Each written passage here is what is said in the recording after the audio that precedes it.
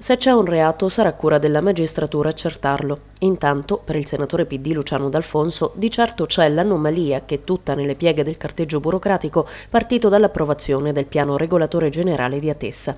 Per incompatibilità di 15 consiglieri comunali su 17, il Consiglio Comunale delibera la nomina di un commissario ad acta, richiesta poi bloccata da quattro consiglieri di opposizione e accolta dalla Regione, che con una comunicazione protocollata il 7 febbraio annuncia la notifica di un ricorso al TAR.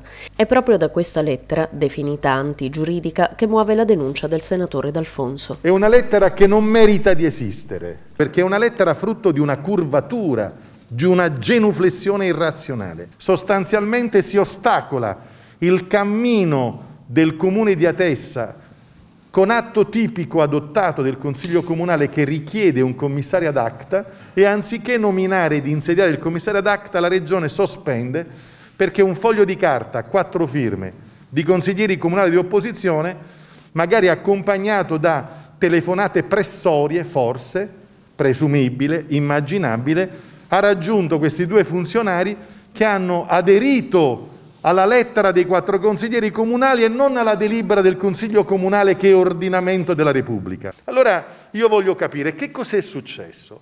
Sono stati raggirati questi due funzionari che si chiamano De Iulis e La Flacco e il suo capo dipartimento che si chiama Pescara?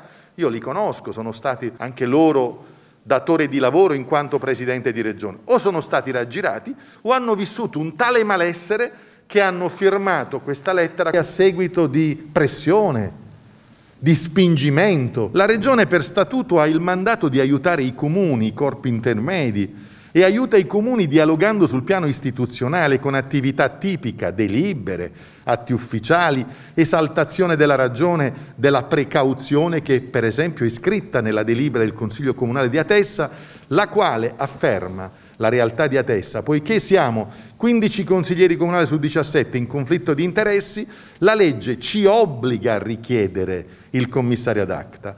E anziché favorire questo, che la legge prescrive, si organizza l'ostacolo con un giro inchiostroso per rallentare, impedire, fare in modo che il comune di Atessa non abbia lo strumento urbanistico che faciliti il suo futuro. Va disconosciuta questa lettera.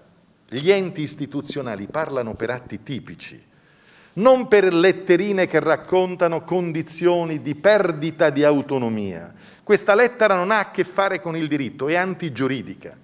Cioè non si può fare finta di nulla, è di una gravità inaudita ed è per questo che io mi rivolgo direttamente anche ai funzionari oltre che alla politica. Se hanno bisogno di un avvocato per recuperare la loro autonomia, sono pronto a fornire io l'avvocatura gratuita. Loro vanno liberati da una condizione di pressione che solo questa può aver generato una lettera così.